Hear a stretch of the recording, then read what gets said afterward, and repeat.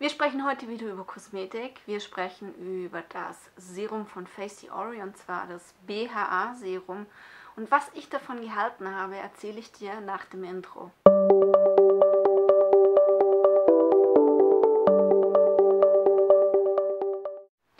Hallo, ich bin Coco vom Kanal Die kleine Coco und ich stelle dir heute wieder ein Face Ori Produkt vor. Ähm, man merkt an Face Diori, ich habe das jetzt gerade auch auf meinem Zweikanal gesagt, man merkt an Face Diori, dass die Verpackungen nicht so ganz ausgeklügelt äh, sind. Sprich, wenn ich das so in die Kamera halte, sieht man die Schrift überhaupt nicht. Das könnte sonst was sein. Ne? Also es ist mir schon bei diversen Flaschen aufgefallen. Ähm, die neue Flasche ist halb-halb, also das Etikett oben ist immer noch türkis, unten ist es weiß und dann steht da eine schwarze Schrift, was man dann wesentlich mehr sehen kann. Ich liebe die Produkte von Face Theory, also mir geht es da weniger um die Verpackung. Ich bin damals auf Face Theory gekommen, weil ich meine Gesichtspflege umgestellt habe auf ähm, wenig bis keine Duftstoffe. Und dieses Produkt hier ist eine, äh, ein Peeling, ein chemisches Peeling, ein BHA-Peeling mit äh, AHA aber und ähm, hat bei mir jetzt, von den Produkten, die ich bis jetzt schon getestet habe, kannst du hier nachgucken, ich habe einen Face Ori Ordner, äh, ist es das schlechteste, will ich fast sagen. Also es ist an sich nicht schlecht, ähm, versteht mich da nicht falsch, aber so von der Wirkung, was ich mir erhofft habe und vom Preis, den ich bezahlt habe, habe ich mir halt schon mehr erwartet.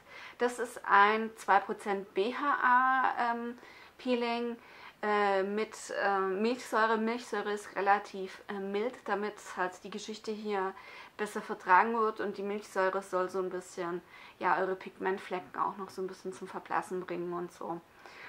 Mm. Es prickelt so gut wie gar nicht mehr auf meiner Haut und ich musste relativ lange testen. Deswegen habe ich das Produkt jetzt äh, als letztes dran genommen. Ähm, ich wusste lange nicht, wo ich mit dem Produkt stehe. Man muss bei so Säuren aufpassen. Auch da habe ich ein Video schon gemacht. Da erzähle ich ein bisschen mehr über Säuren. Und wenn du so ein Produkt holst, langsam anfangen. Bedeutet, ähm, wenn du Reaktionen zeigst, also negative Reaktionen, kann das schon zu spät sein. Deswegen immer schön vorsichtig und so ein Produkt muss nicht notgedrungen prickeln. Deswegen habe ich lang genug so ein bisschen hin und her probiert und geschaut, was das für meine Haut tut. Ich habe beim letzten Mal habe ich äh, den Cleanser, den Exfoliant Cleanser vorgestellt. Der kann wesentlich mehr, findest du im Ordner unter dem i. In Kombination habe ich jetzt heute, nee, gestern zum ersten Mal ähm, den Cleanser aufgetragen mit dem Produkt und ähm, habe dann schon festgestellt, dass ich dann wieder dieses Prickeln spüre. Ähm, ich mache aber die Wirkung nicht an dem Prickeln an sich fest, sondern an meiner fettigen Haut. Da äh, habe ich bis dato mal gemerkt, wenn ich Säuren anwende und das gut funktioniert, habe ich über den Tag verteilt lange nicht so eine speckige Haut, weil ich ja eher so Team Mischhaut mit äh, fettiger T-Zone bin. Ich habe ähm, auch anfänglich mit dem Produkt jetzt nicht so große Wirkung erzielt, wie ich es mir erhofft habe. Da war schon eine Wirkung definitiv. Und man darf nicht vergessen, dass die Face Ori Produkte halt auch so aufgebaut sind, dass du zum Beispiel Glänzer und das eben kombinieren kannst.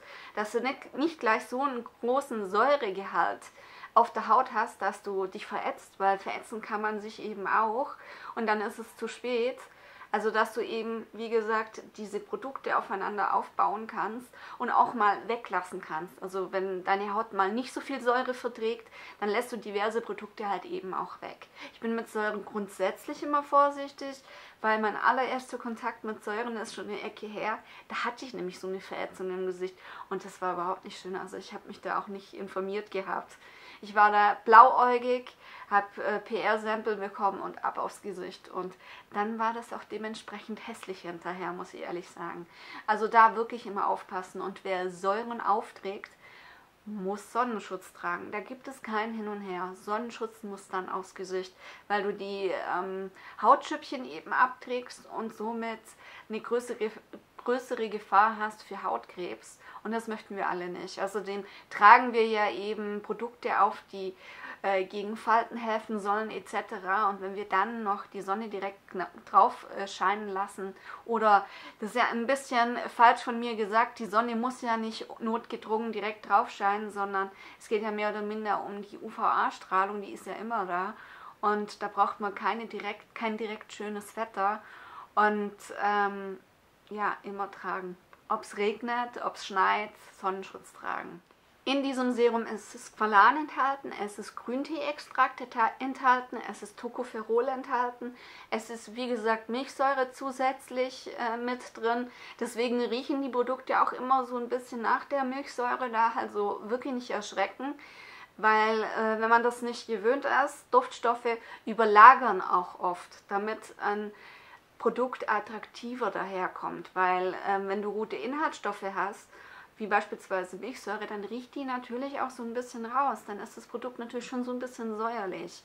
Aber wie wir ja wissen, Duftstoffe gehören in der Zahl, wie sie uns halt verkauft werden, nicht auf unser Gesicht. Das ist ganz, ganz, ganz, ganz wichtig.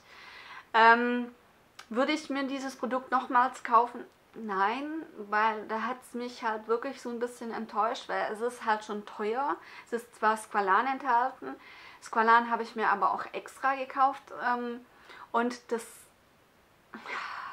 dieser, dieser Cleanser, den ich das letzte Mal vorgestellt habe, mit dem komme ich halt wesentlich besser klar und bekomme halt den Effekt viel besser hin, als ich das jemals mit diesem Produkt hier hinbekommen würde. Es ist halt ein schöner Zusatz auf den Cleanser drauf, habe ich jetzt einfach gemerkt.